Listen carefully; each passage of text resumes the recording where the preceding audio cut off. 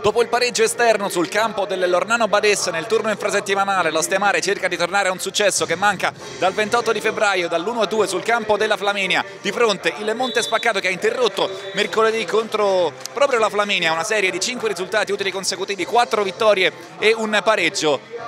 e ad oggi è assolutamente impelagata nella lotta per non retrocedere dallo stadio Anco Marzio di Ostia, Ostia Mare Monte Spaccato, il derby. Un saluto da Riccardo Selvi e Simone Nestori, Fischia Bonacina, è cominciata. Ostia Mare Monte Spaccato, primo pallone lungo, volta buono il colpo di testa da parte di Dinezza, poi Mastro Pietro, ancora lui di testa con Putti, il duello, Lazzari si coordina col destro. E la grandissima parata di Tassi in calcio d'angolo, prima occasione del match in favore dell'Ostia Mare. Lo scambio buono con Pedone, altro sguardo verso il centro, ma di fronte a sé due avversari, allora appoggia per Mastro Pietro col sinistro, disegna dalla parte opposta la parabola per Carta che si coordina, pallone alto sopra la traversa. Carta cerca il cross e tanto deviazione pericolosa e poi Lazzari la mette dentro per il vantaggio dell'Ostiamare al decimo minuto la sblocca Damiano Lazzari errore difensivo del Monte Spaccato ne approfitta il laterale destro della formazione di De Angelis fa 1-0 Mastro Pietro posizione regolare viene messo giù da Bassini si va avanti per il vantaggio Pedone va col destro e trova un gol pazzesco all'incrocio dei pali Pedone. 2-0 per l'Ostiamare al 35 minuto. Va a festeggiare sotto la rete di recinzione dell'Anco Marzio ma è un gol spettacolare di pregevolissima fattura. Non può arrivarci Tassi. 2-0 bianco-viola a 10 dalla fine del primo tempo. De Sousa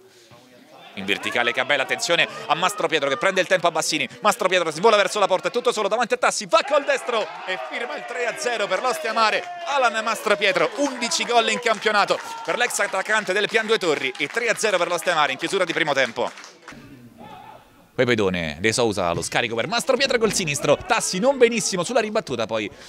anticipa bene Pedone, altra bella azione dell'Ostia Mare, proietto, cerca il cross, teso verso Cali con il pallone che sfila. E alla fine lo alza in calcio d'angolo Giori, questa forse è la prima vera occasione per il Monte Spaccato quando siamo giunti al 67esimo, Cali in verticale qui da Stolfo a vuoto, Gambale tutto solo davanti a Giori, può andare col sinistro in diagonale e Giori la tiene lì.